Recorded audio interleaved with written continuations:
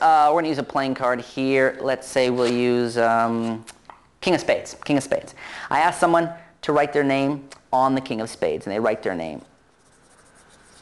Maybe they're suffering some horrible thing at this point. They write their name in a whole medley across the King of Spades. Okay? Turn the card over. I ask the spectator to put their hand flat down the king.